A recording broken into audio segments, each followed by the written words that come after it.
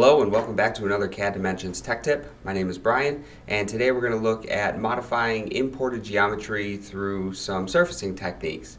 Uh, now this is going to be a two-part tech tip and in this first part we're going to do a manual method. We'll take a look at some individual surfacing tools and a workflow of how to use those together to get this job done. And then in part two I'll show a couple other techniques that consist of uh, other tools that sort of automate this manual process we'll see in this part.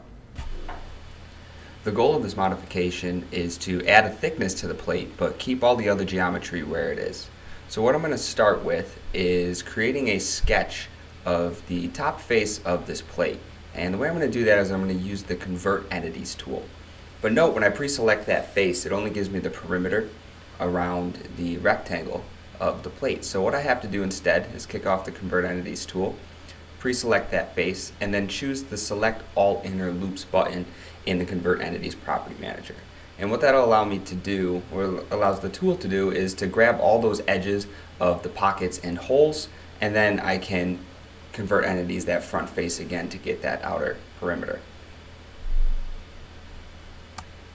This sketch represents all the edges of the imported geometry that I need to extend up to create the thickness of this plate. So I'm going to go ahead and kick off the extrude surface command and select the sketch that I just created. Now I'm going to extend the edges that we created the sketch up, up by 20 millimeters and this will act as the wall for the extended geometry that later we're going to go through and, and combine this back together with. Now that we have the walls for our extended geometry, we need a roof for it.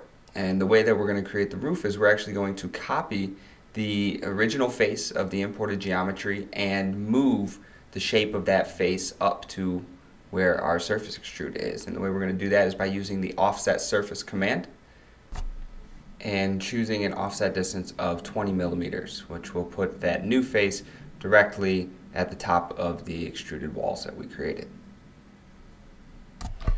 Notice that the edges of our new surfaces are showing up in blue instead of black. Uh, that means that those surfaces are not knit together. They don't know that their edges meet, and we want to make sure we tie those together uh, before we move on to combining it with the other half of the geometry. To do this, we're going to pre-select all the surface bodies from the feature tree and kick off the knit surface command, and then select OK. Now notice that the edges are now showing up in black in between all of those surface bodies and we have one total surface body and one solid body left in the model here. Now the next goal is to get that surface knit to the original imported solid. I'm going to hide the surface body that we just created so that I can see the imported solid and in order to combine these two I'm first going to turn this solid geometry into a collection of surfaces itself. And to do this, I'm going to use the delete face tool, and I'm going to delete the original top face of the imported geometry.